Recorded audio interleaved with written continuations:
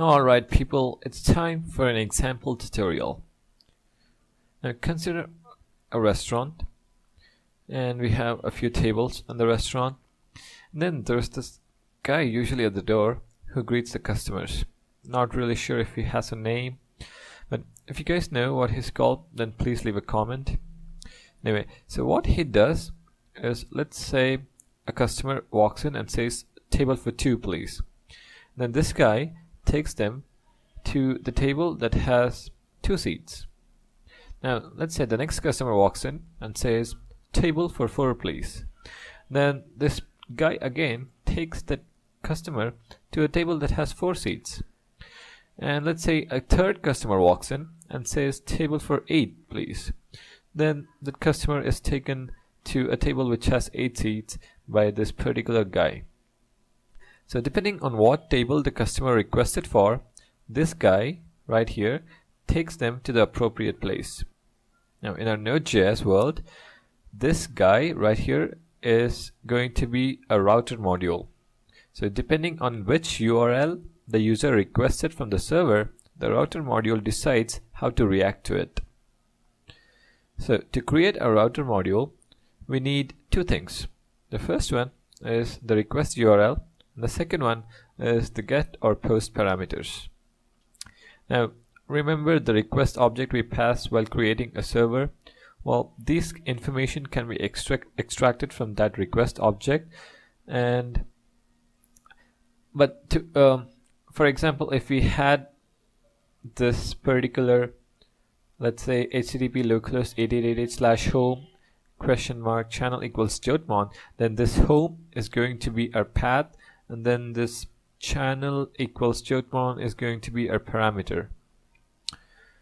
But we need to interpret this information from the request object. So we will be using two additional modules. The first one is called a URL module and the second one is the query string module. So enough of chit chat let's start coding a router.js module.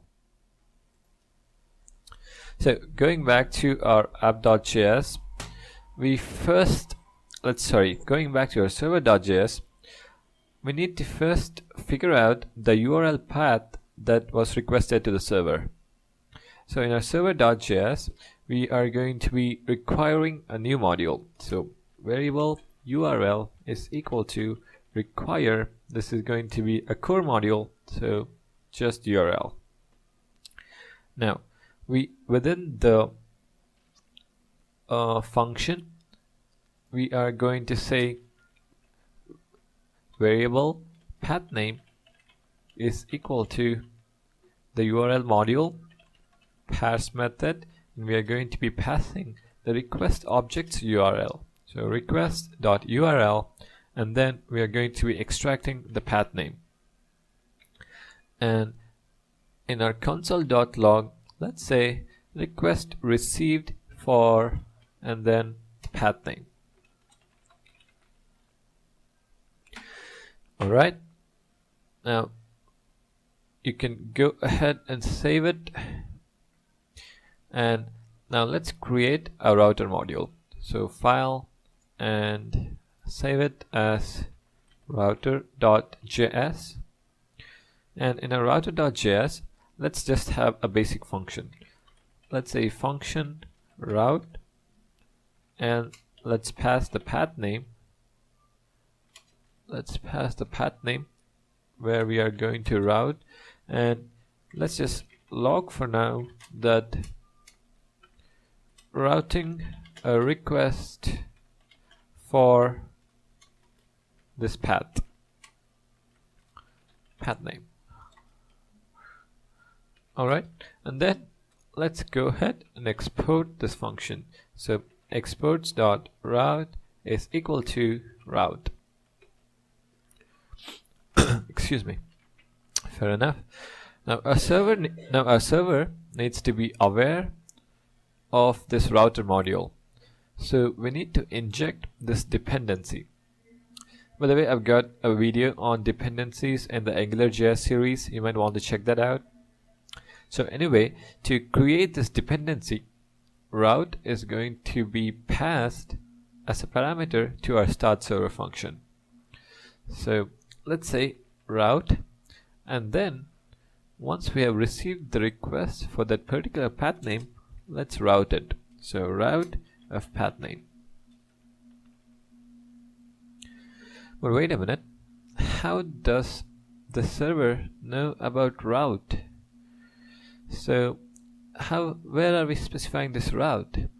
So let's go back to our app.js and let's require our router module. So variable router is equal to require and since it is created by us dot slash router.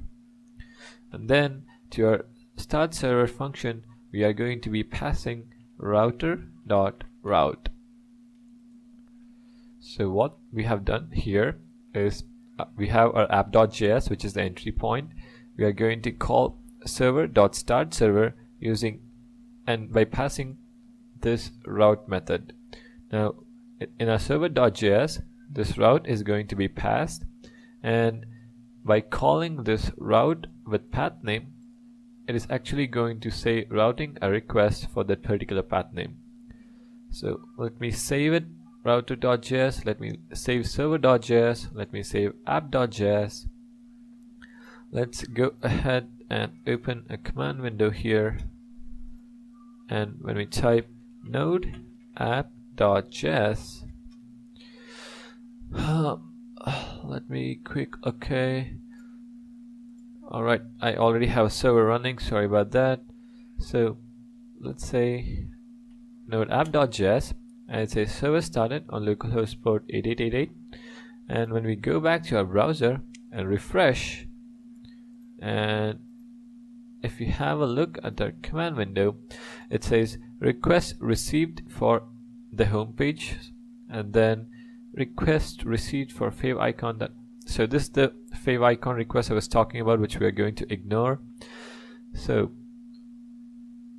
if we change our if we change 8888 to slash home then it's going to say request received for home. So so far we have created a router which can distinguish between the URLs that the server was requested for. And in the next video let us see how to handle these particular URL requests. So thank you guys for watching and don't forget to subscribe. I'll see you in the next video